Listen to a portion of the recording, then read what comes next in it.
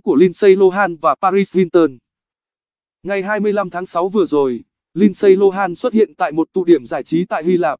Nữ diễn viên 32 tuổi trẻ trung với quần short jean và áo ngắn khoe vòng một gợi cảm. Cô vui vẻ trò chuyện với một vài người bạn và thoải mái ôm hôn một người bạn khác giới gặp tại câu lạc bộ.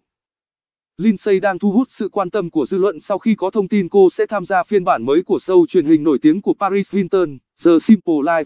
Thậm chí, nguồn tin này còn khẳng định, Lindsay sẽ thu âm ca khúc mới cho chương trình này. Người đại diện của Lindsay cho biết, thông tin này cũng mới mẻ với chính chúng tôi. Lindsay Lohan và Paris Hilton từng là bạn thân thiết từ năm 2003 tới năm 2007. Cùng với nhà thiết kế Nicole Richie, ba cô gái đã xuất hiện thường xuyên bên nhau trong các sự kiện, các tạp chí và tham gia show truyền hình The Simple Life cùng nhau. Tuy nhiên, tới cuối chương trình, Paris đã không còn giữ quan hệ thân thiết với cả hai người bạn là Lindsay và Nicole.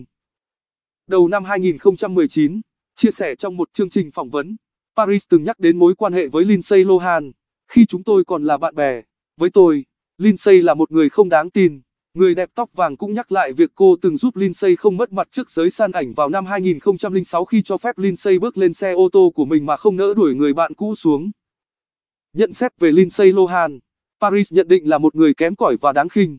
Trước những lời nhận định của bạn cũ, Lindsay trả lời, chẳng điều gì có thể khiến tôi nổi giận. Tôi chẳng có vấn đề với bất kỳ ai trong cuộc đời mình và tôi mừng vì điều đó. Tôi là người dễ yêu thương những người xung quanh, ngay cả khi ai đó đưa ra những lời nhận xét tiêu cực tôi cũng vẫn sẽ cầu nguyện cho họ. Lindsay cũng nói với phóng viên rằng, việc Paris nhận xét ác ý về cô chỉ nhằm mục đích gây ấn tượng hay thu hút dư luận. Lindsay Lohan đã rút lui khỏi làng giải trí Mỹ từ vài năm nay và chuyển tới châu Âu sinh sống. Nữ diễn viên nhí nổi tiếng một thời của Hollywood hiện tập trung cho việc kinh doanh khu nghỉ dưỡng tại Hy Lạp và thấy yêu thích công việc này. Lindsay từng rất tài năng và nổi tiếng với thành công của bộ phim Bẫy phụ huynh, những cô nàng xấu tính xong.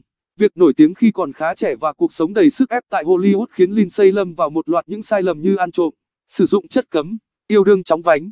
Chưa đầy 30 tuổi, cô đã trở thành một diễn viên tai tiếng và không còn dấu ấn trong lòng người hâm mộ. Mi Vân Theo đề Simet,